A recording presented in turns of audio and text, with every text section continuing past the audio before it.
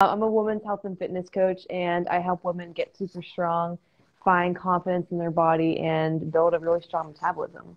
And I'm here with Ali, and you can introduce yourself. I'm Ali. I am also a women's health and fitness coach. I focus a lot um, on working with women who are in their 30s and they want to feel like their best self possible. I feel like a lot of the times people are like, oh, your 20s are great. And like, no, your 20s are not that great. Like being in your 30s is awesome. You get to like be in your prime. And that's where I help women like stop fearing carbs, figure out their confidence in the gym. Um, you know, we align on a lot of the things we teach. And that's why this live is going to be a lot of fun. I know. A topic people feel maybe they're going to be a little bit triggered on because we're calling them out. But it's also really good just to create awareness around this topic because I'm sure you would agree with this. Like, if we can give our clients and people out there all of the information, then they can make a decision based on what feels good for them. And like, that makes me feel really, really good knowing that they can make a decision that serves them. So. Yeah.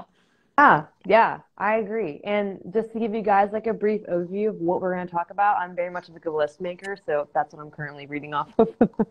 um, we're going to be talking about our positions on alcohol, coming from someone that's six years almost hasn't had a drink, um, and then someone who does have alcohol in their life and you not uses it, but uses it, I guess uses it, drinks it. Um, and we're talking about the mindset around drinking things that we see pitfalls or clients fall into. Um, and then also like what should you drink if you do want to have a drink that's not going to like completely ruin your goals. That's what we'll be talking about today. If you have any questions on alcohol, question about what we're talking about after you watch this, you can comment it below, um, and we can we're going to be answering them, you know, throughout whenever if we see them posted later. Yeah. Um, so the first thing I want to talk about is just our positions on alcohol. Do you want to go first? Yeah, totally. So, so I am I will be 26 in May. So I feel like I fall into this category where I'm still in a position where people are like socially drinking a lot more. Um, and that's not everybody, but that's just a lot of the people that, you know, I follow, I'm friends with, etc. And about you know six months a year ago is when i started to take a look at like my own personal goals. And i'm like mm, probably drinking more than i should to be able to attain certain goals. And i'm a coach. I'm a person that doesn't live in absolutes. So if i want to enjoy like a really nice glass of wine i love like the the act of it, like sitting down with people you're enjoying, having a good cocktail, just having a conversation. I'm going to do that. But my perspective really did change um, from someone that was much more of a social drinker to someone that now enjoys one to two drinks a week, even at that. Um, I mean, with the holidays coming up, I even said to myself last night, I was like, mm, I could kind of go for a glass of wine, but it's going to be the holidays. My parents are coming to stay with us. I'm going to have a glass of wine couple while they're here. So I'm much more, um, as a coach, as a person, aware of how I want to integrate it into my lifestyle and knowing that it's not necessarily the greatest thing for our body, but mm. there is still a way we can do things mm-hmm. with balance. And balance looks different for everybody. So I think that's the biggest mindset I want you all to remember is that what is balanced for me, what's balanced for Maddy, is not necessarily what's going to be balanced for you. Um, and you have to find your own balance because I was just chatting with um, a client the other day and she wanted to reduce her own alcohol intake as well. And I said to her, we got to like make it manageable because if you do like dry January, you're probably going to go back to normal drinking, whatever your normal is, in February. Mm-hmm. So find a realistic approach. So my stance is very much trying to have some balance, living my life, doing what feels good, but ultimately my driver is like, what's my goals? How why why am I actually having the glass of wine? So it's it's a very uh thought out process. Mm-hmm. And it mm-hmm. always. Yeah. Yeah. No, that you? makes sense. Um, here's my beautiful smile. I was listening, that's why. um, thank you though. But uh, for me, I have a very not a I wouldn't say a weird relationship. I just never got into alcohol um, into like the act of like just drinking like how you enjoy it like casually and with friends. Sure. Um, because I got super sick right before I turned 21 and I was on medication to where you could not have any alcohol. So I was started that a little bit after my 21st birthday and I had like one or two drinks and then that was it. So then I was on that medication for a good amount of time and I was just kind of got used to not drinking. So then like those time periods where you are drinking socially, trying different things, finding stuff you like, I never had that. So that was a little bit different for me. Now I'm not on that medication anymore, thank God.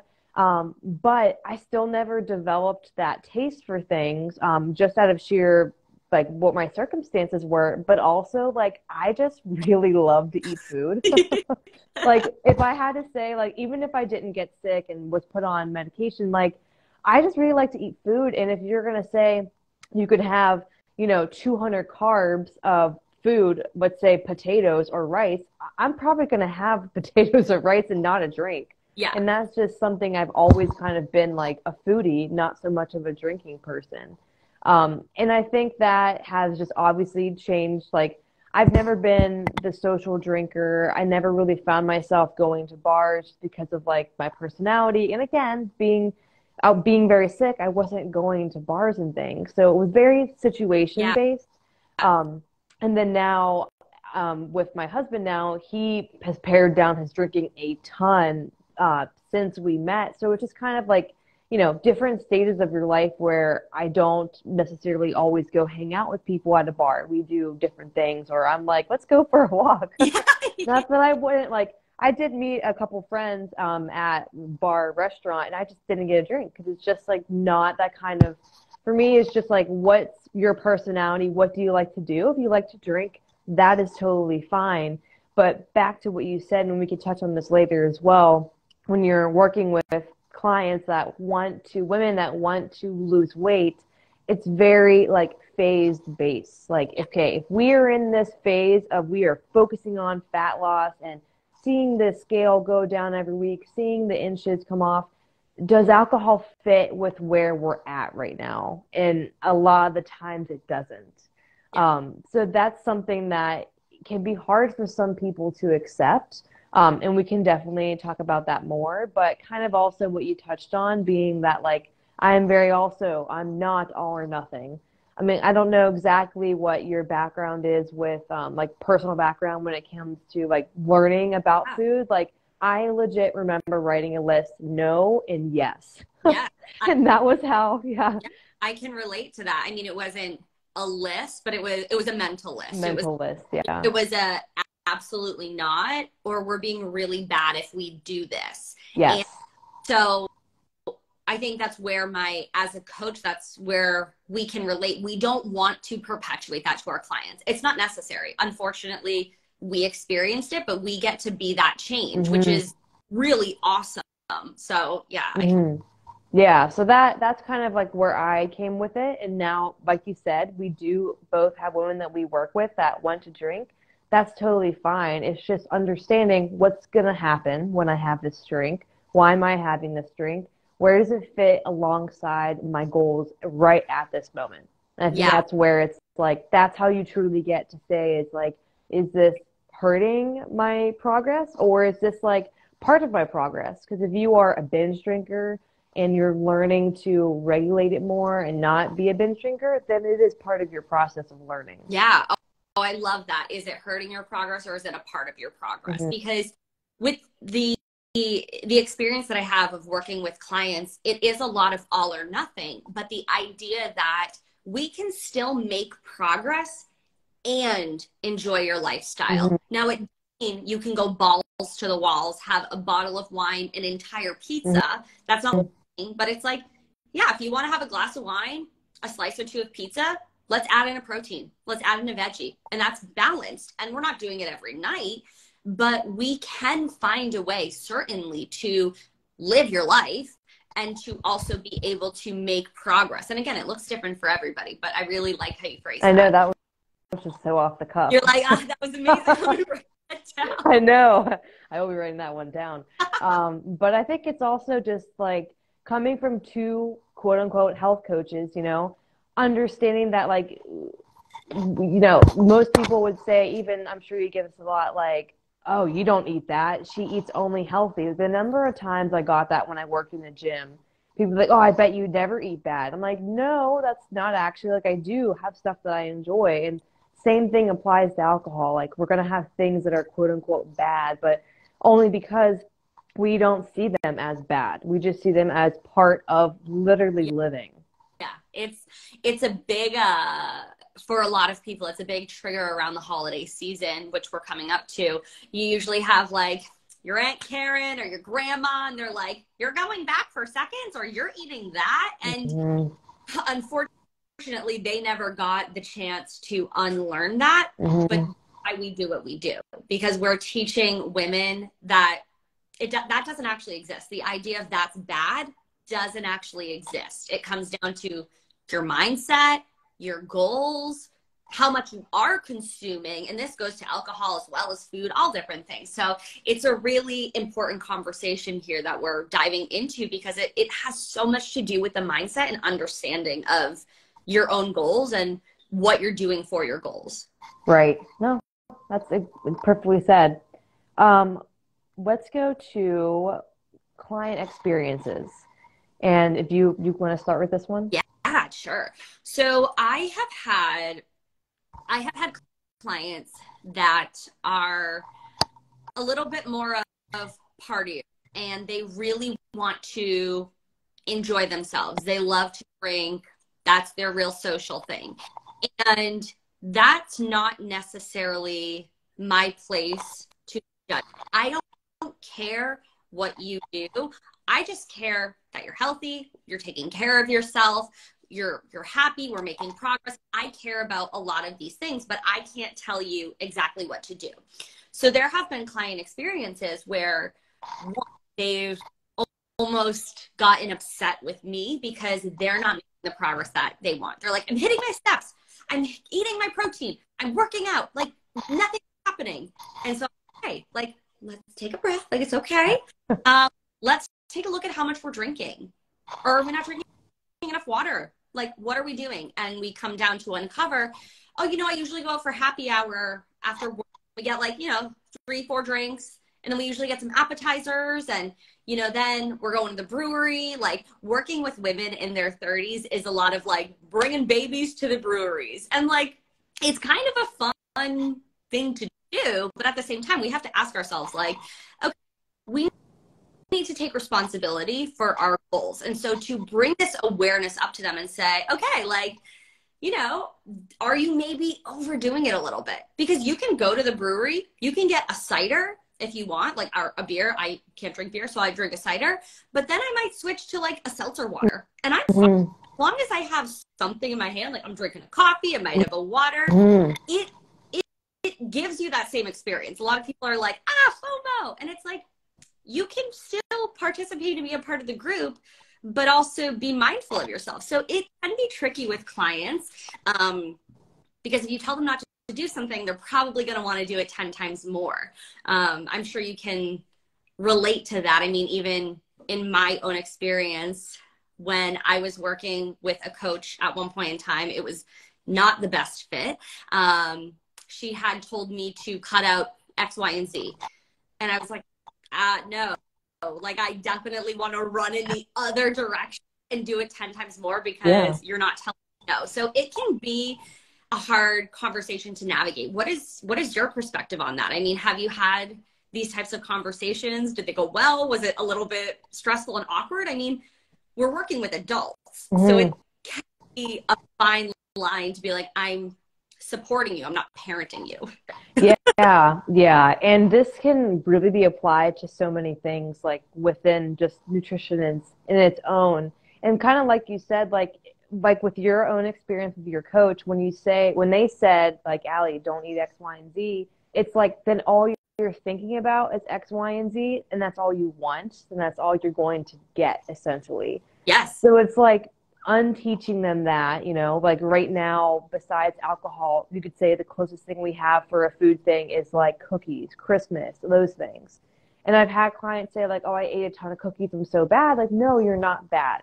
Like, if food does not make you does not have a uh, correlation to how you are as a person if you're good or bad evil whatever it's not it doesn't have a moral you know compass on you so it's the same thing with alcohol like it's not bad if you have five beers or five this it's just does this make sense to the plan right now yeah and i think that's the hardest thing to unteach someone is to take away like this is bad to this is just you know does it make sense? And if it doesn't, that's okay. And like reflecting on why it wasn't okay. Yeah. And one of the most recent things actually was um, a newer client, and she was like, made a correlation. She's like, wow, I realized I was using alcohol as a reward slash coping mechanism for what was happening. Yeah. So, had a super stressful day, she had one or two, three ciders you know, maybe had a great weekend, had some more ciders, things like that. And it's not that, you know, on your birthday, you're going to have cake, you're going to have these things, you're going to celebrate. But if you're using alcohol as a coping mechanism for things that are happening in your life and continuing that over and over and over, making that a habit, that's just kind of a recipe for, you know, a, a downfall for every time something small happens, this is how you react. Totally. Right? Totally. And it's, it's so so funny um, because you hear all the time and mm, guilty of it i remember this one time i was a senior in college and this gas company near our college was like shit was literally blowing up. It was so scary. We were literally like evacuating um, and i drove to my parents house and i was like oh my god i am so stressed. And my mom's like oh i got you a glass of wine. And that's not it's not like the worst thing in the world, but in that moment, as I look back to it, it's like, Ali, you're so silly. Because you being stressed in that moment, you could have taken a couple deep breaths, just gone for a walk, regulated mm-hmm. your, but having that glass of wine, yes, it makes you feel a little relaxed because you might get a little buzz, but ultimately it stresses your body out more. Mm-hmm. That's not what people talk about. It's like, oh, I'm relaxing at the end of the night. Let me have a little glass of wine. Yeah, that might make you feel good for a minute, but you're probably going to sleep badly. Mm-hmm. It doesn't de-stress you. It does worse for your body. And again, not a not not necessarily a thing you can't do, but it's just knowing what you are doing in these situations. It's all about having the awareness and then acting on being aware.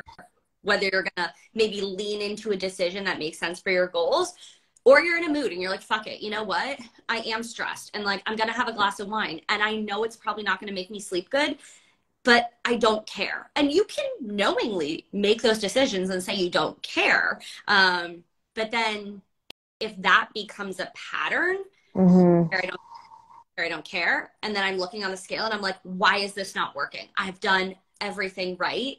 Mm-hmm. well we got to go back a little bit because if you don't care five, ten times, you're not doing everything. And that's why the progress is stalling or not being made. So again, it's just really about this awareness, which a lot of us we don't have the opportunity to really have these conversations all the time because not enough people talk about it. Mm-hmm.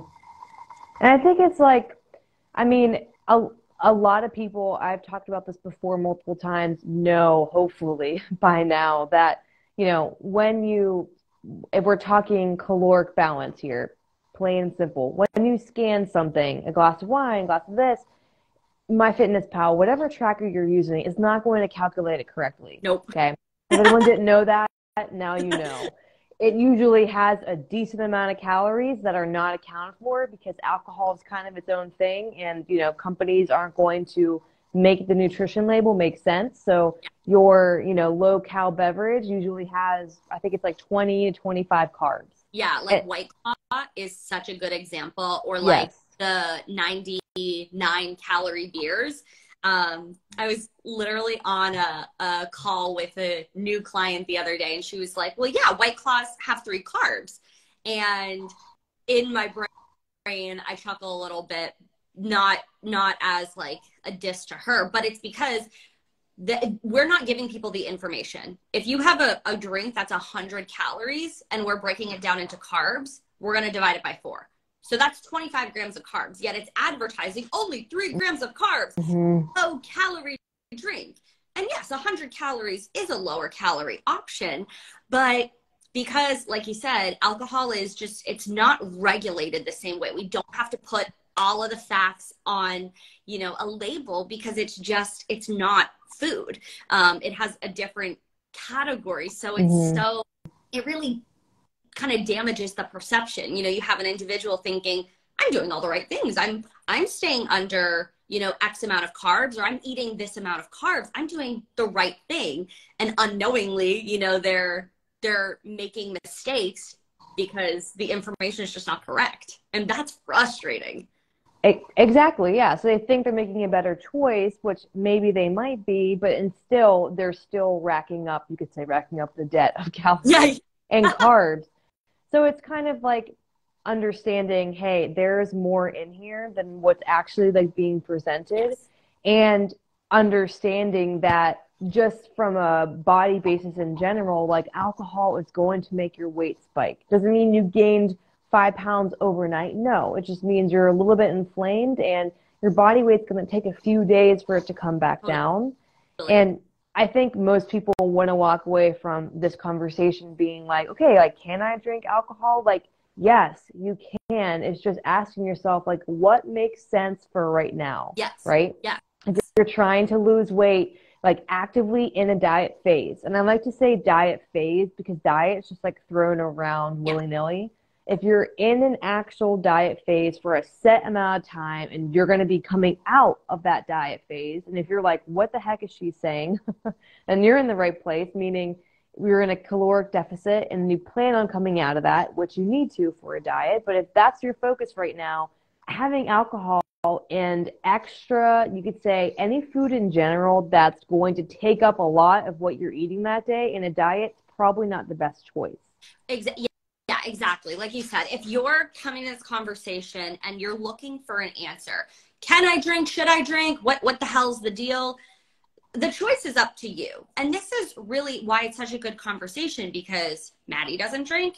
I drink occasionally. Um, I am definitely type of person that will probably enjoy more drinks around the ho- like holidays with my parents coming into town but then I'll go back to my normal. And so I'm not going to very likely weigh myself because I know the, the it's going to be up. And it's not because I gained a bunch of body fat, um, but it's because alcohol is it's not good for us. Yes, we can have a good time and use it responsibly and enjoy ourselves, but if we're looking at like is it good for our body? No, but that doesn't mean you can't have it. But it's like Maddy said, is it going to serve you?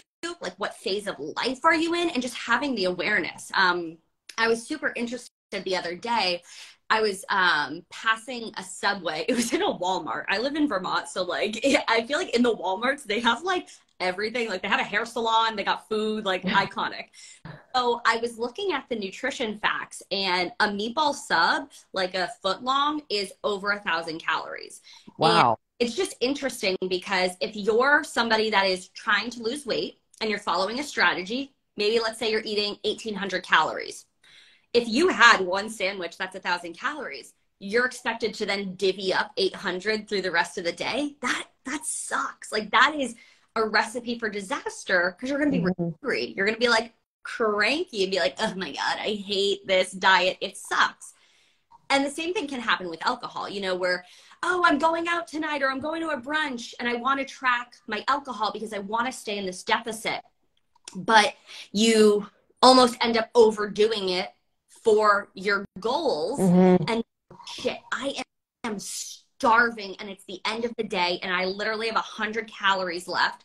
So you either suffer through it or more realistically, you eat because you're hungry.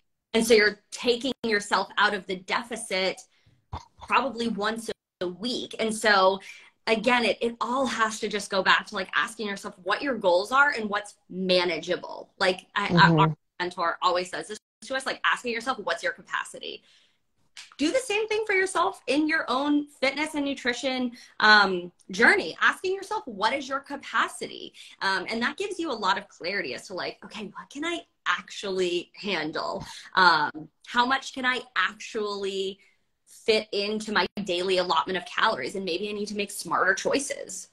Yeah. And back to what you're saying, like, you're not going to have any food left. Like, I just went through a diet phase and I'm almost out of it. Yeah.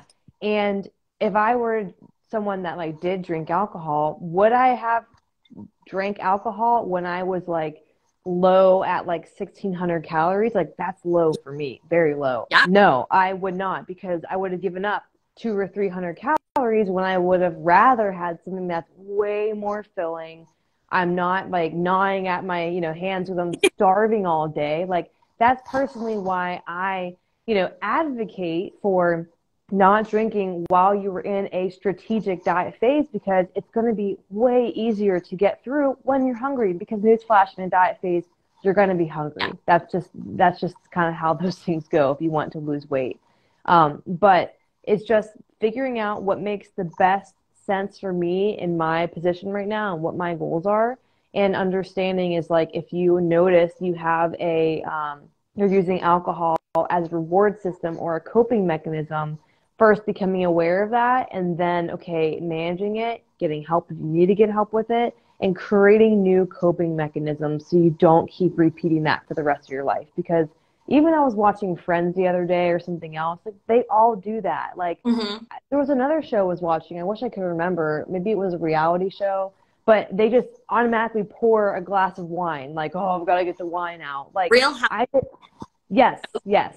Of that. Yeah. It's like, yeah don't know necessarily what time they're filming, but like, you'll just like, drinking time my apartment. It's like, oh, should we open some champagne? And like, it is such a norm in our Yeah. world to to just use alcohol as as a super super social thing, which in the right amounts, it's perfectly fine.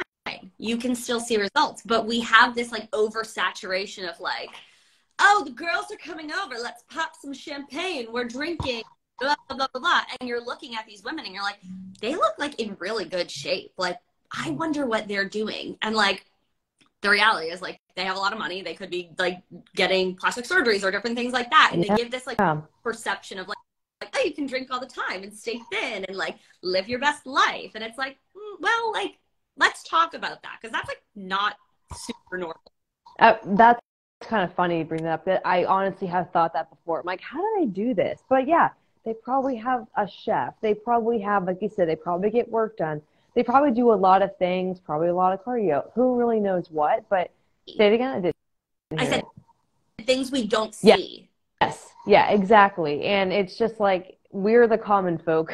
what what what's possible with what we can do drink like i always say this when someone asks me if when they say like oh i had a cookie and i'm bad i say listen like in my diet phase and currently now living i eat chocolate every single day i literally have eaten chocolate every day for i don't know years probably Yeah.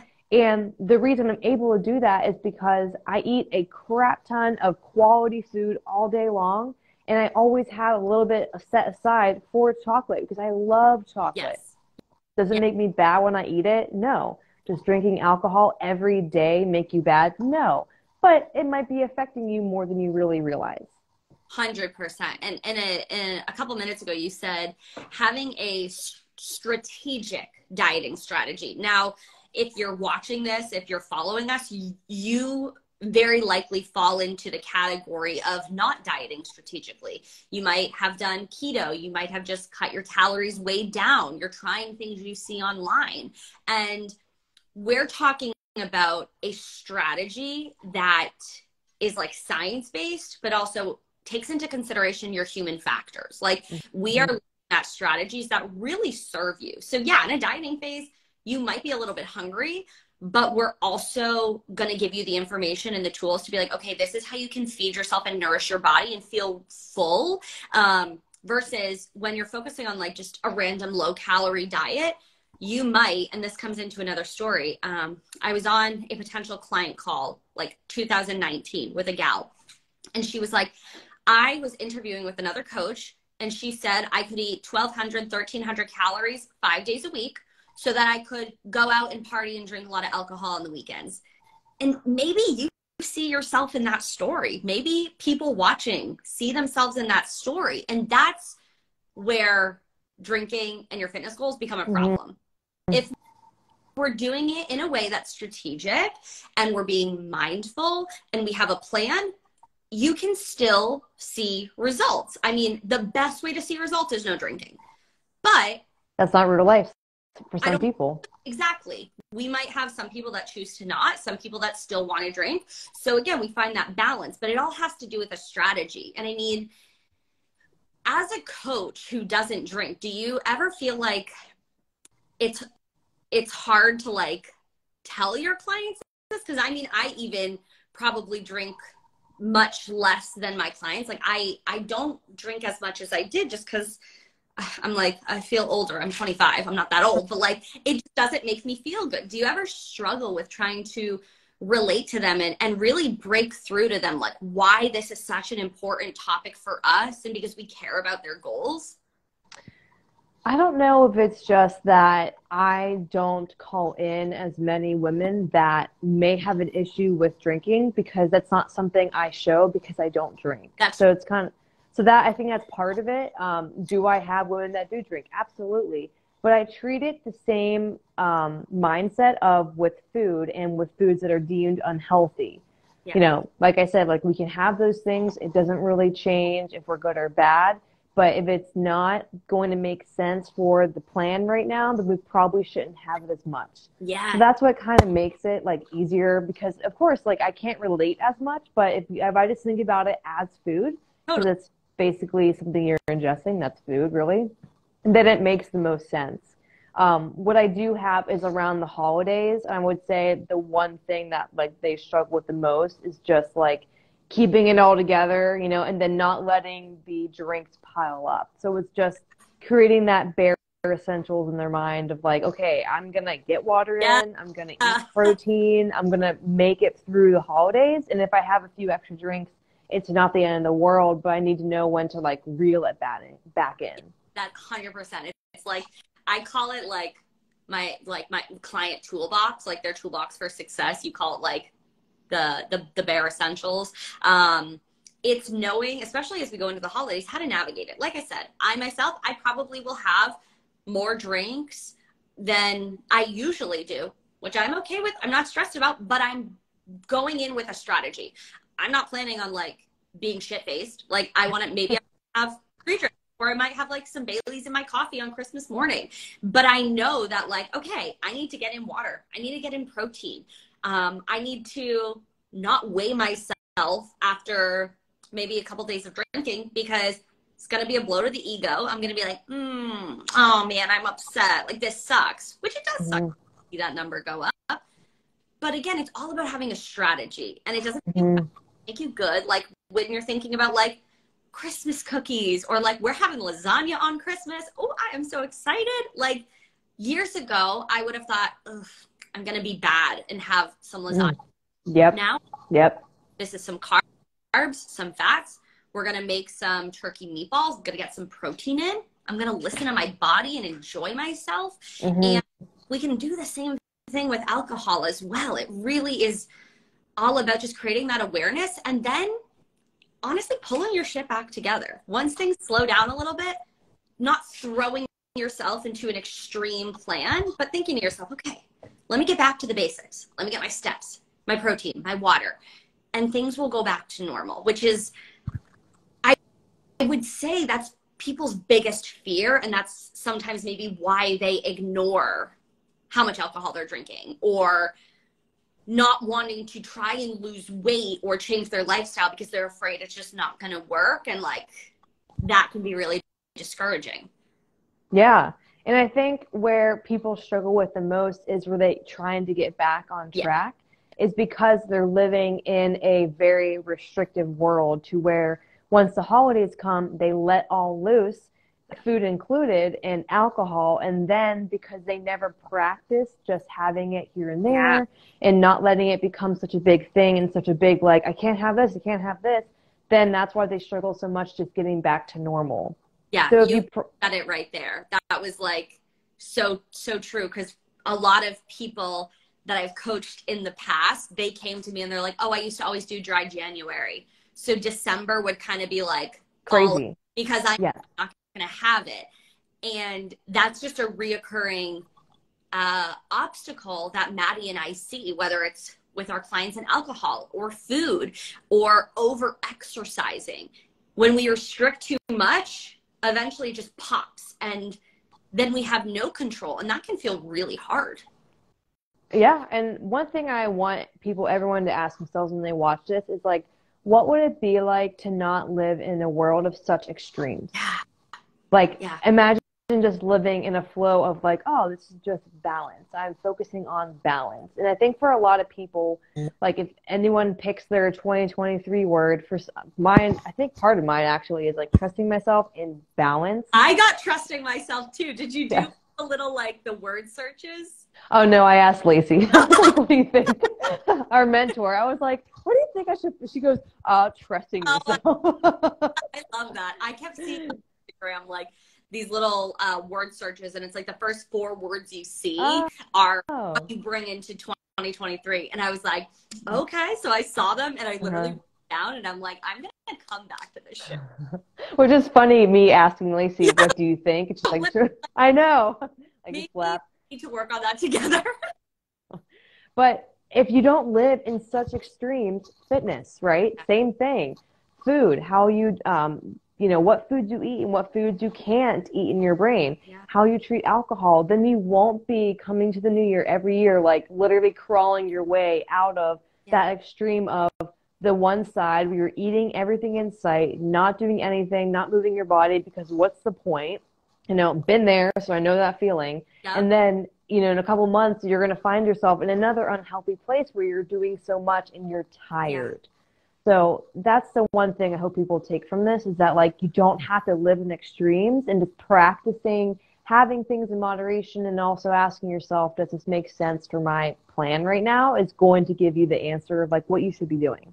Yeah. And I would kind of piggyback on top of that when we're asking ourselves, does this make sense for me? An exercise I often do with my clients is when we are first working together, I ask them to write down their why. And I'm like, let's not make a surface level. Like we are going deep. Think of like an 100 year old tree. It got deep ass roots. So go deep. We're not just trying to lose 20 pounds to fit in our jeans. Like there's a bigger reason behind that. And so when we have a deep rooted why, and we're trying to make a decision like okay and this was a conversation that i had with somebody close to me um, they were like what's the point of just eating one whoopie pie like i want to eat three like there's no way i'm just eating one and my thought is well there is a point to eating one because we can have one and we can say that was yummy and then we can also be like okay but like what are my goals like i don't need two more if i'm hungry still let me make myself a proper meal and when we're deeper, we're deep rooted into our why, we can then use our like critical thinking to say, okay, is this going to serve me? And I don't want to make it sound easy. It's not easy at first, but that's why we practice. That's why we write down our why so that I can go to the dessert table and grab a couple of gluten-free things, have something and then be like, I'm I am in a dieting phase, so I'm going to chill. If I want more tomorrow, I can have it or from a week from now i can have it and and it's really trusting yourself and trusting your goals and your why that you're making the right decision but mm-hmm. that's that's almost a muscle you have to practice mm-hmm. it's, it's not the easiest thing in the world it's easy to forget why you're doing something in the moment for sure very easy you're like oh yeah i'm supposed to only have like two espresso martinis like that's kind of, you know, maybe four, 500 calories. And then you're like, oh shit, I am kind of hungry. Those loaded nachos sound pretty good. And you see the, the spiral start to come out. And this kind of makes me want to talk about, um, like even just low cal options or mm-hmm. non-alcoholic options. Like I have been loving Liquid Death. Have you ever had those? It's just like, isn't, isn't that water? Yeah but it's amazing. It's like it's not this, but it's in a big can. It like has this like badass marketing and they serve them at a lot of like bars or places where they serve alcohol because you blend in a little bit. You know, it looks like you're mm. here or something and people I mean, I'm not friends with people that would pressure me to drink, but it allows you to kind of fly under the mm. radar and not fit in. Oh, I'm missing out because that's you know can be a huge anxiety for some people. Um, but I personally like if if it's the holiday season, I am going to have an espresso martini or or a peppermint martini, but I'm also going to like use my common sense and say, okay, these are a little bit higher calorie, so I'm going to have no more than two. And I'm a lightweight. I don't need it. Like let's be real, Ali. Um, if you're lightweight, I don't know what I am. oh, girl, oh, girl. It's I I can have like a glass of red wine and I'm like I'm buzzed. I, it's it's so ridiculous. And it's but it's iconic because then I'm like I don't need more and I can trust myself to not need more. Um, yeah. But I love, you know, if you're trying to look for some low cal options because um, you want to go out and enjoy yourself, but have that limit, like you know, a vodka soda or a tequila soda, asking if they have, you know, diet drinks, mm-hmm. um, things. Um, and really just using your better judgment and thinking, okay, like if I know myself, I can have two martinis. I don't need any more than that. So I don't need to like perpetuate it and be like, oh, I'll have one more, one more, one more. No, mm-hmm. I'm gonna like remind myself we're good after two. I'll grab mm-hmm. maybe I'll grab a seltzer water, something that looks fancy, so mm-hmm. and still, so I don't feel tempted. Um, but it's you know it's it's not as complicated to to find those, those options once we're aware. Yeah, once and for someone that doesn't drink at all, I yeah. I would totally do a Liquid Death because, like you said, if you fit in Dude, more, it looks kind of cool. They're so fun. Like I I don't even necessarily have them like when I'm going out, but I had one on Thanksgiving and I was drinking it and James and I were leaving going back to our house and my dad's like, "Oh, you forgot your beers." And I was like, "Dad, that's why." I was like, "I was drinking 8 in the morning." And he goes, "Yeah, I thought that was kind of weird, but I don't want to That's funny. People don't realize. So if you are self-conscious, it's it's a great option to give you just that feeling of like I fit in and that's and that makes me feel like I want to actually stick to my goals. Yeah, and I would do like diet drinks. Like I'm not a I don't drink diet drinks all the time, but like it's something nice to add in here and there. It's yeah. not the end of the world. Um, that's pretty much all I've done. Again, we don't go out to bars really. But if we're going out to dinner for a nice dinner, I never I've tried wine. I don't like wine. I just never grew the taste for anything apparently. Yeah, I'm gonna have like some extra food. yes. Um, but I'll get diet drinks and stuff like that. And if you feel pressured by people you're with to drink more, I hate to say it, but you might need different friends that are yeah. pressuring you in that way. Because like a real friend wouldn't be like, "Come on, Ali, you're boring." Like that. That's a little bit immature. I mean, if you're in your early early 20s, then you probably have people that are like that um, I think really every, any, everyone can make their own decision and needs to know their limits. And if you don't want to go home blackout drunk every time you go out with friends, you know, or if you feel like you are susceptible to peer pressure, then you might need some more mature friends. yeah, I mean, genuinely, like I I can't even think of the last time that a friend would ever say that. Like that would just be such a red flag mm-hmm. and it can mm-hmm. be to put up a boundary with a friend like mm-hmm. that's something that can be really uncomfortable for people but if you're in a position where like people are not supporting you then like why do you have enemies like wh- why why have enemies if you have these types of friends you need people that like care about yeah. you and cheer you on and it doesn't mean that they don't have to drink. It doesn't mean you have to give it up entirely, or if you want to, that's cool. But it's just like having really good communication with the people that you care about and supposedly care about you. I mean, I saw on um, Hannah Brandt's story uh, a couple days ago, I think, and it was like her husband was like, "Oh, do you want a glass of wine?" And she like wrote out the whole story. She was like, "I did want one, but I said no because." the holidays are coming up and I'm probably going to be having more then. And that was the end of the conversation. Like there was no pressure, there was no obligation. And that's how it should be. We should mm-hmm. feel empowered to make our decision and not get any blowback. Like especially on an issue like I'm not having a cocktail. Like that deserves zero blowback. Yeah, and I think for people that are just starting their health fitness journey, and this is like a whole other tangent, so I'll make it quick. um, if you are with a group of people who haven't seen you make these changes before, they might be more likely. And this is from past experience, this is from clients' experience. So I know this is what happens. People can be quick to judge and also make a comment about what you're doing. Yeah. So if they do make a comment about you drinking less or you changing your food habits or X, Y, and Z, it's coming from a place from them. Um, why is the word blanking out of my mind? Their Fill the word. Dirty. Yes, from their own insecurity that you are doing something that maybe they couldn't achieve, Mm. maybe they've wanted to achieve, they struggled to achieve. So it's not really about you. It's just someone's insecurity. Yeah. And you know, you don't you don't need people like that in your life when you're trying to do a positive thing for yourself. Exactly. It, it, totally. You're you're focusing on your health. That is the most important thing that you can do. Whatever decisions you're making. If it's pro your health, you should have a lot of support in that. But unfortunately, there can be times where like if I was really envious of you because you were doing something I couldn't, I might be like, why are you even doing that? Like that's Mm-hmm. stupid.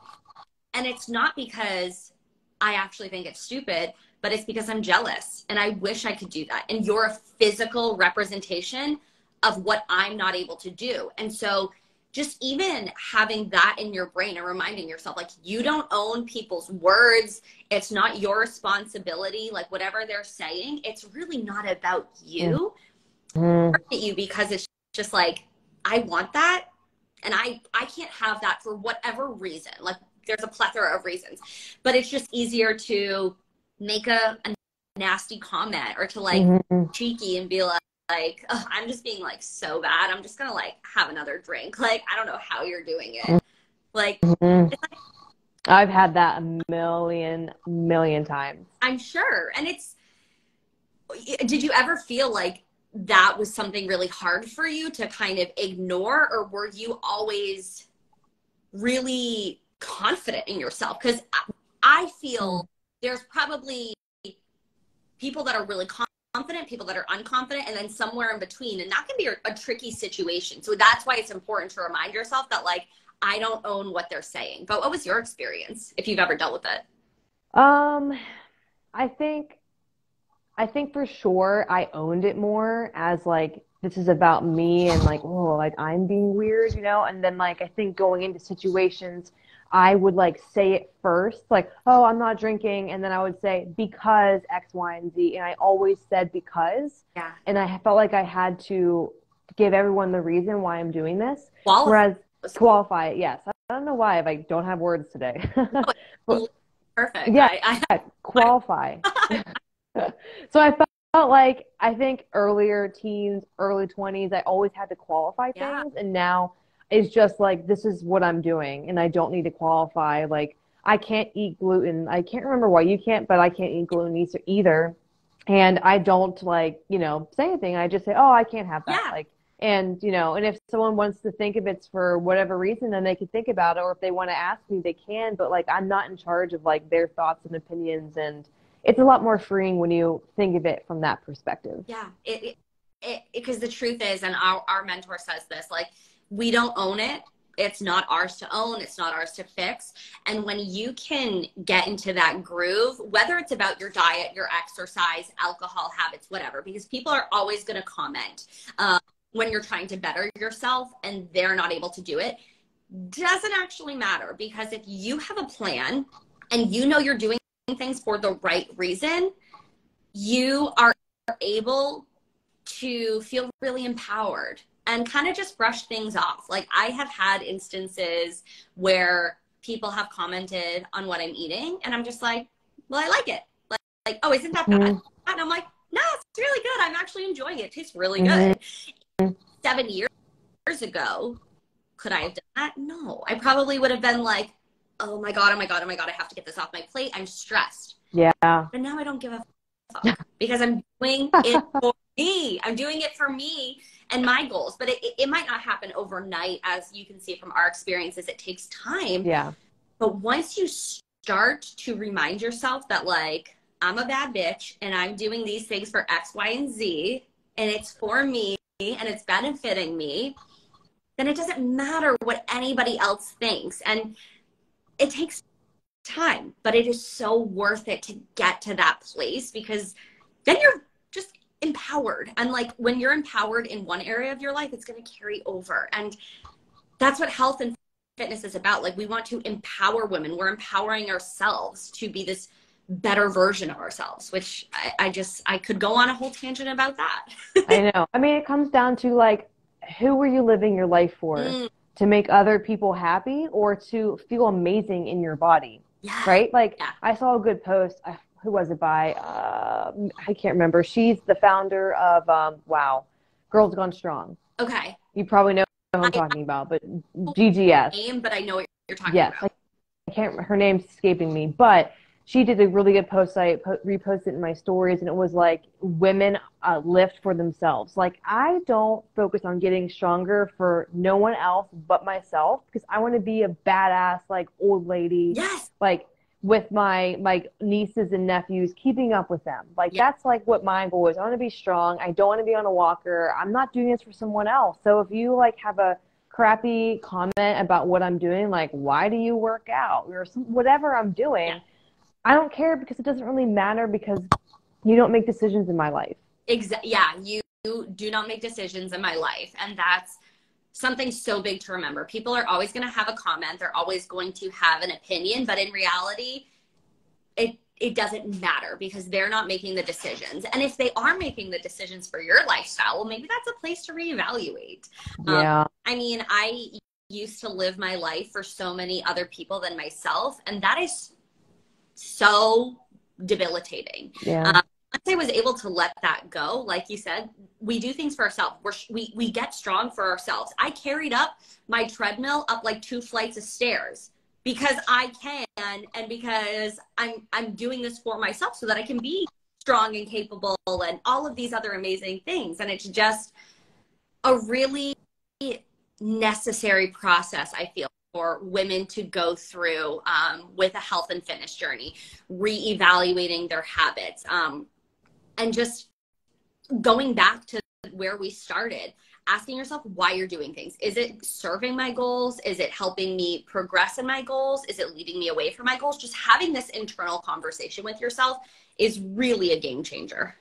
Yeah. Um, I'm realizing it's almost one and you got to go. we could talk forever. We literally could talk for hours. Maddy and my DMs. It's just like, I think it's just like a, a stream of content, yes. all, which I love. uh, well, well, I hope you guys enjoyed this conversation. We are most likely going to do more lives because it's just really fun to do them with you. Um, and if you have a topic you want us to talk about, um, health, nutrition, mindset. Obviously, we have a lot to talk about about mindset and like personal accountability. Apparently. Oh hell yeah. Um, yeah. Feel free to comment that below. Um, but that's it. So thanks for joining us, Ali. Thanks for doing this with me, and uh, we'll talk right. soon. Bye, Bye. Bye, everyone. Bye.